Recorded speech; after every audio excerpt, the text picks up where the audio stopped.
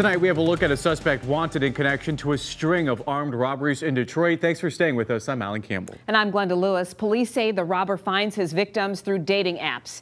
7 Action News reporter Kim Russell live with what you need to know to protect yourself. Kim. Yes, Detroit police say they know that there are four cases that are connected, but they believe that there might be more out there that people might be embarrassed to make police reports after falling victim. They're hoping you recognize the suspect that has been caught on camera.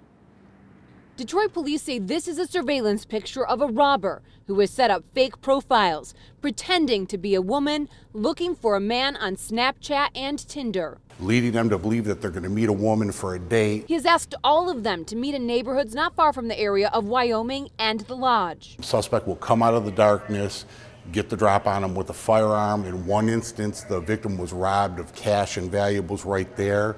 In the three other instances, the perpetrator actually, because they didn't have a significant amount of cash on them, actually forced these three other victims to go to an ATM to withdraw cash. Police say one way to protect yourself is to set up any date in a public place such as a restaurant or mall, where there are surveillance cameras to gather evidence. You know, and if they're reluctant to meet you somewhere like that, if you say, hey, let's meet in the parking lot of the police station or the lobby of the police station, a public building, a restaurant, if they won't do that, there's your sign.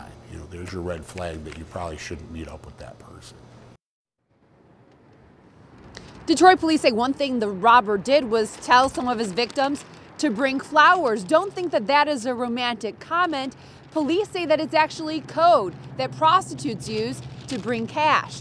Some of the victims didn't know this and romantically and naively showed up with a bouquet. Reporting live in Detroit, Kim Russell, 7 Action News. Wow, hope they're more informed now, Kim. Thank you.